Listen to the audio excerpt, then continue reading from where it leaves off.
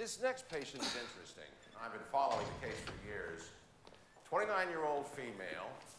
Dia- Hey, Diagnosed as acute schizoaffective disorder. The usual indicators depression, anxiety, violent acting out, delusions of persecution.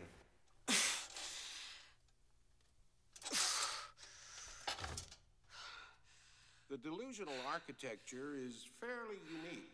She believes that a machine called a Terminator, which looks human, of course, was sent back through time to kill her. That's original. And also that the father of her child was a soldier sent back to protect her. No. He was from the future, too. The year uh, 2029, if I remember correctly. And here we are. Morning, Sarah. Good morning, Dr. Silberman. How's the knee? Fine, Sarah.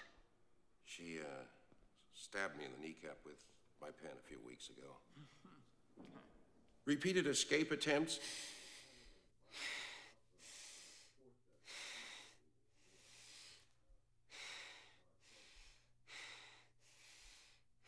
Let's move on, shall we? Douglas, I don't like to see the patients disrupting their rooms like this. See that she takes her Thorazine, would you? Sure, Dr. Silberman, I'll take care